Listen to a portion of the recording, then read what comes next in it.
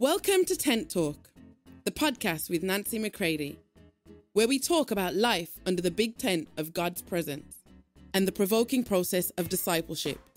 Here we go. Hey, everybody, welcome to Tent Talk. This is Nancy McCready. In these three episodes, we are continuing in J. Oswald Sanders' classic Spiritual Leadership, but we're jumping over to chapter 8. I'm going to do the reading of chapter 8 and then much commentary on chapter 8 on the essential qualities of leadership. So it's important that as you listen to these three, that you do it uh, through the ears and the eyes of the new man and of the new covenant so that it doesn't turn into performance or just the natural qualities that we each have, but that we go deep with Him into our life in Christ and let Christ be formed in us so that we will be uh, true leaders, His leaders. So here we go in these three episodes. Love you all. All right, let's see what we can do as we continue with comments um, on chapter 8. I thought about, you know, trying to be, you know, quick and moving forward and and I thought why why would I need to rush off, right? This is the slow fire process of God.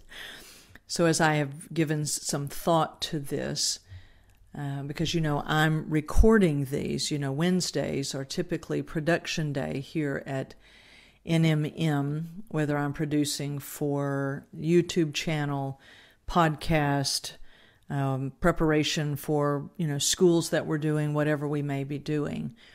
I attempt to set aside Wednesdays as much as possible to be able to get things done, where it's the only thing I focus on. And that is a fight, my friends. Even just, you know, um, referring back to what we were talking about in our last episode, you have to find your rhythm and lead the life that He's called you to. And there is so much learning in that. Um, and so when you're listening to these, see, I did these a week prior. Uh, and so um, that requires me to uh, think in a certain way, plan in a certain way, also to be willing to be spontaneous. Um, no matter how much I've planned, that when something begins to spring up in me and I find I want to hover over something, I, I realize, all right, I, I need to stay with that. Because having a plan is great.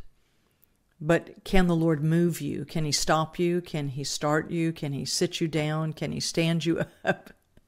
I don't want to be offensive, but can He, you know, hit your hind parts and, and put you out into a gallop? You know, right? Right? Because this is the rhythm of leadership is who is leading you. Maybe look at Romans 8:14 today. Those who are the sons of God are led by the Spirit, or those who are led by the Spirit are the sons.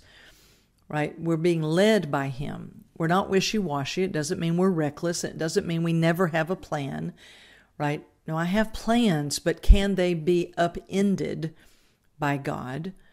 Right? Because ultimately he's the one who gives me the overview and he says, Now, look here, we're going here. And I get some ideas and I begin to talk those through with him, right? And then it kind of all sifts out.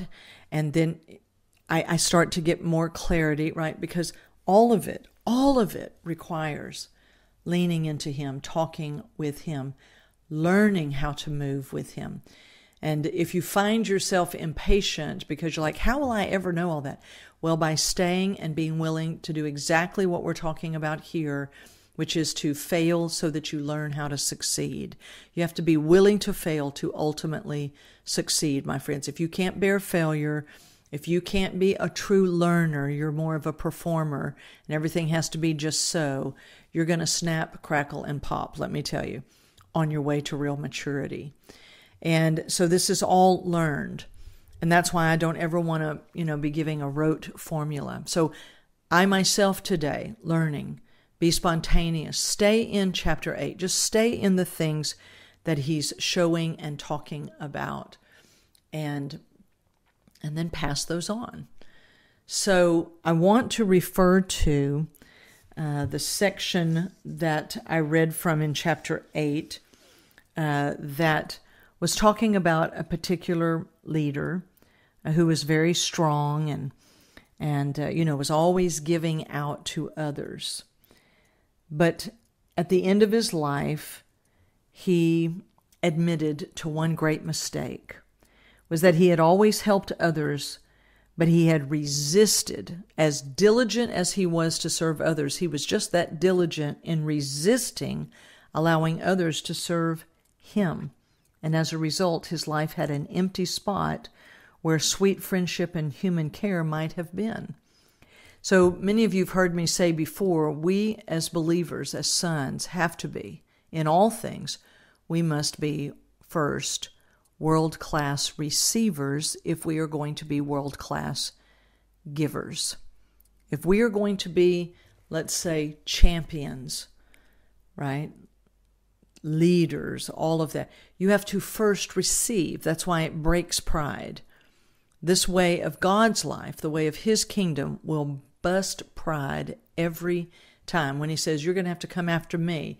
You know, pursuit crucifies pride, receiving crucifies the pride of, you know, that I always serve and I always give. It's like mm, you have to first receive because what, what, would, what would you have to give if you have not first received of the Father? I only have love for God, for myself, and for others as I've allowed God to love me. And my husband and I, we are givers, we love to give, but we have had to learn through many painful seasons, and now, of course, we're very grateful for it. You learn to receive so that uh, your your giving comes out of the receiving from God, and then to be willing to be receivers uh, of what others are directed by God to pour into you. So there's always that ebb and flow within the kingdom. And I just thought that needed to be pointed out. We must always be receivers. And sometimes it takes the power of God just to simply be able to say to someone who wants to give to you to just say, Thank you. Thank you for that today. Uh, I, this just happened to me this morning. Uh, I know you're listening to this a week later or so, but uh, was someone was just sharing what God was doing in them that they'd heard from me, right? And I was like, man, this is hitting me today, right where I'm at. I need this. And so I sent them that message and I said, thank you for sharing with me what you heard and uh, what God is speaking to you out of the richness of your life with Him because it's really encouraging me with right with where I'm at, right? And it was. And, um, you know, this is something that um, makes for a richness of life uh, with Him. This section on vision out of chapter 8 is so very, very powerful. And God taught me something in the last six years as NMM has grown and matured as a as a ministry um, comes out of the maturing that I have needed to go through, and this statement came in conversations with a dear friend that if God has given you oversight, you're going to have to have foresight. So this became like a man, I mean, it was like a stake in the ground that I could refer to time and time again. And I was reminded of this as I read this section. In chapter 8, it says on the top of page 56 in my book vision involves foresight as well as insight. So, this when you have oversight, my friends, when you're going to have oversight over a work, no, no matter the size, whatever the size is, but you have to be up above things to be able to have his vantage point and to see as he sees. So you're living based on something that might not yet even be right in front of you. You're thinking ahead. You're tolerating today as you live in the future. And you understand that what you're sowing today is going to bear fruit later. You've heard the old saying, you know, there were people, thank God there were people that planted trees that they were never going to sit under. They planted those trees knowing they would bring shade to their generations, right? That we understand that what we're doing now is going to bear fruit later. And so that comes from a compelling um, vision, a compelling point of view. Um, um, something that grips you from within. When Paul would say things like, I've not been disobedient to the heavenly vision, uh, that man saw someone and some things that he was shown by the someone, by God Himself, that compelled him from within, that was truer and more real to him than the things that he saw in his everyday life. That's why those things did not move him. And this is definitely going to be what lead sons are going to have to have. Other people may only be able to see what's right in front of them. And in great humility, without any superiority, you're going to have to be able to speak to people in a way that empowers them to get up in the moment and to live greater than the moment, right? So this is so so um, oh, so vital. Uh, in one of the the quotes that he he brings forward in chapter eight, says the man of God must declare the pattern that was shown him on the mount. He must utter the vision granted to him upon the isle of revelation. I love old writing. so on the mountain, what did you see when you were in that high place with God? Now, can you live that out and be led by that when you're down in the valley, when you're down in the muck and the mire, as they would say? Right? Because we want to be those who are more compelled by Him who is invisible. I mean, this is probably one of my favorite points out of that section on, on vision, because I've referred to it many times. You know, Moses, it says, was not moved by the face of Pharaoh in Hebrews 11. Well, remember, Moses grew up in Pharaoh's house. So, so Moses wasn't moved by the face of his family. But Moses wasn't moved by the face of one who now at that point could, you know, decimate them.